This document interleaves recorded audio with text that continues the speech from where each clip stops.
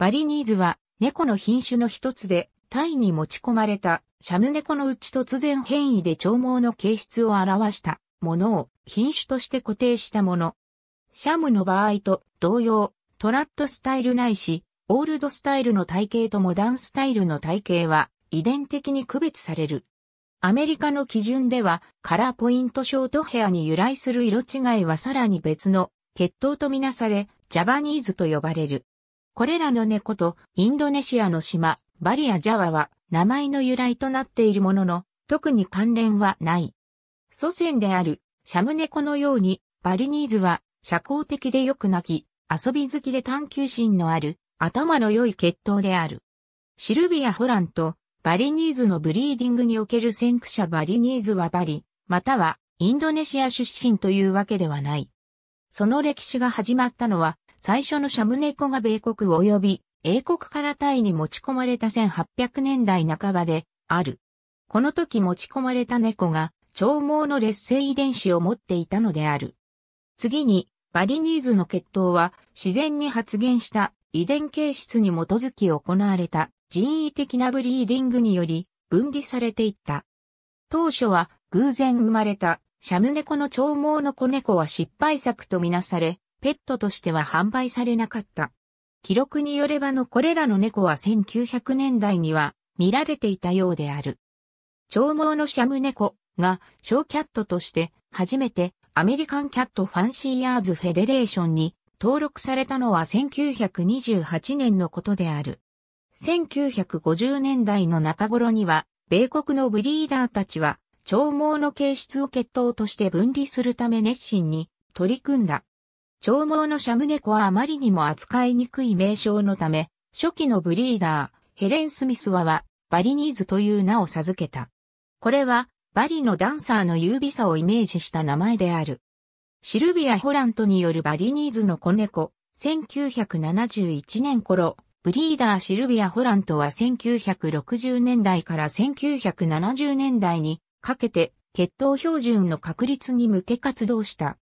彼女は伝統的なシャム猫のポイントの色は、シール、チョコレート、ブルー、ライラックであると考えており、バリニーズについても同様の認識を持っていた。蒸気以外の色を除外したのは、他の血統の猫と掛け合わされたことに由来する色だと考えられるためである。アメリカのキャットファンシアーズアソシエーションは、そうこうしているうちに、レッドやクリーム、あるいは、リンクス、鼈甲などのパターンのシャム猫を別種のカラーポイントショートヘアとして公式に分類し、これらの色やパターンの長毛猫は、その後、ジャバニーズとして独立に分類された。祖先であるシャム猫と同様に、バリニーズも徐々に体型を基準にした2種類のタイプに分かれた。伝統的なシャム猫がバリニーズが確立した頃に流行していたので、バリニーズの成立過程にもこれらの猫が用いられた。そのため、オールドスタイルのバリニーズは、初期のブリーディングで用いられた、シャム猫たちによく似ている。しかし、短毛のシャム猫が人気になるにつれ、より体が細長くスラッとした体格で、楔形の頭をしたタイプの方が流行し始めた。その後、モダンスタイルバリニーズもこの特徴を取り入れていった。1980年代半ばには、オールドスタイルのバリニーズは、オールドスタイルのシャム猫同様、多くのキャットショーから姿を消し、ごくわずかなブリーダーがオリジナルのバリニーズを維持しているのみとなった。そのため、これら2種類のバリニーズは、近年に限れば、共通の祖先をほとんど持たない。モダンスタイルのチョコレート色で、鼈甲色のポイントを持つジャバニーズキャットファンシアーズアソシエーションでは2006年の初め頃に、この二つの血統を一つにするかどうかで討議があった。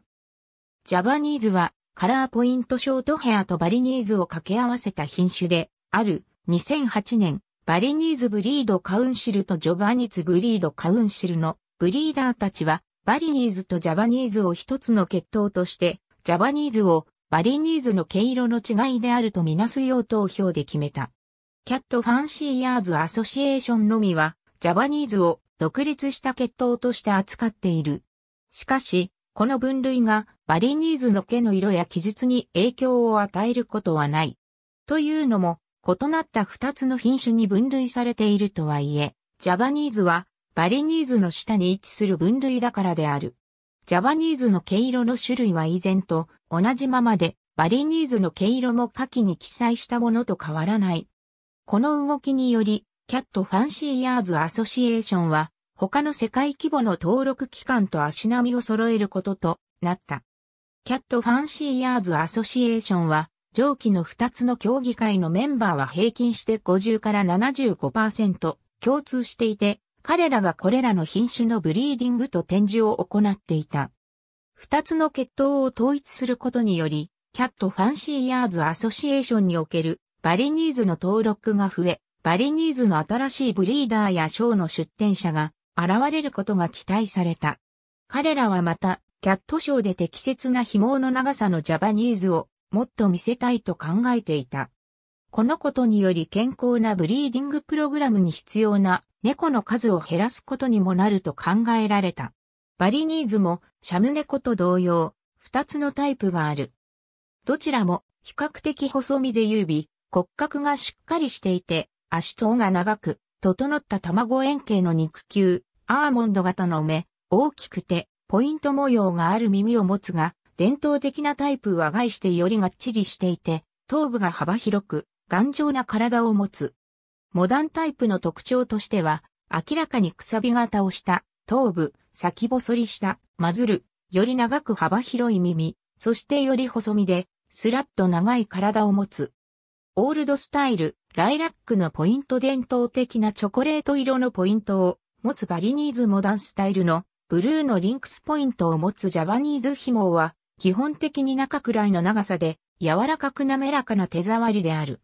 しかし、大半の長毛種が持つようなふわふわのアンダーコートは持たない。2匹のバリニーズの子供は、バリニーズとシャムネコとの子供よりも紐が長くなる。すべての場合で、尻尾はさらに長い毛が、ふさふさと、あるいはフリンジ飾りのように生えていなければならない。目の色は、淡いブルーからサファイアブルーないし、紫まで差がある。目の色の鮮やかさは、年齢や食事によって若干変化することがある。肉球の色は、子猫のうちにポイントカラーの色を判断する参考になる。ピンクの肉球は、チョコレートやライラックのポイントを持つ猫で、黒い肉球は、ブルーやシールのポイントの猫で見られる。ポイントを持つ他のあらゆる猫と同様に、バリニーズの子猫は全身クリーム色か白色で生まれ、徐々に体温が冷たくなる部位にポイントが現れてくる。すなわち、顔、耳、肉球、尾である。ポイントの色は4週齢頃になるとはっきりわかる。一部の猫は年とともに色が暗くなっていく。また、一般的に暖かい気候で過ごしている成猫のバリニーズは寒い気候で過ごしている場合よりも毛の色が明るい。キャットファンシアーズフェデレーションや多くの世界的な登録団体はバリニーズのポイントの色にシール、ブルー、チョコレート、ライラック、レッド、クリーム、さらに、これらの色のトーティポイントとリンクスポイントを認めている。しかしキャットファンシアーズアソシエーションのスタンダード基準では、引き続き伝統的なシール、ブルー、チョコレート、ライラックのポイントしか認めておらず、その他の色や模様は、ジャバニーズとして別個に分類されている。オールドスタイルのシールポイントを持つバリニーズバリニーズは、短毛のシャム猫の性質を受け継いでいるので、非常に社交的で遊び好きな猫であり、周囲で起こる活動に興味を示し、小さい声ではあるが、頻繁にかつ持続的に鳴く傾向がある。すべての長毛種の中でも最も高い知性を持つと評判である。また、非常に身軽で、飼い主との親密な接触を好む。なお、バリニーズは、その他の多くの品種よりも、猫アレルギーを引き起こしにくいと言われている。きちんとした科学的根拠には乏しいので、まだ確定したわけではないが、バリニーズは他の猫と比較して、アレルゲンであるフェル D1 タンパクとフェル D4 タンパクの酸性量が少ないと言われている。サイベリアンの場合と同様に、一部のバリニーズのブリーダーは、バリニーズが猫アレルギーを引き起こしにくいという厳密な証拠を得るため調査を続けている。ポイントパターンは、部分的なアルビノの一形態であり、チロシナーゼの変異の結果生じる。すなわち、正常な体温の環境下ではうまく働くことができないが、皮膚の冷たい領域では活性化するのである。この結果として、猫の体の中で冷たい部分、すなわち獅子や顔の色が濃くなるのである。伝統的な色ではないジャパニーズを作り出そうと、その他の品種と掛け合わせられたとしても、その猫が登録されていて、シャム猫あるいはバリニーズの系統を少なくとも3から4世代かそれ以上の系譜持っていれば、純血とみなされる。バリニーズは、ごくわずかな健康上の問題を除けば、健康的な品種とみなされている。バリニーズは、系統育種、すなわちシャム猫の中で長毛の突然変異を起こした小さな遺伝子プールから開発された品種である。遺伝子プールが小さいほど多くの未知の健康障害を遺伝する可能性がある。バリニーズで確認されている疾患としては進行性、網膜萎縮があり、この疾患により目の網膜が変性し、弱視あるいは失明につながる。一部のバリニーズは拡張型心筋症に罹患する。この疾患では、心臓が拡大し、心機能が低下する。また、肥大型心筋症を発症するリスクも少ないながら、あると言われている。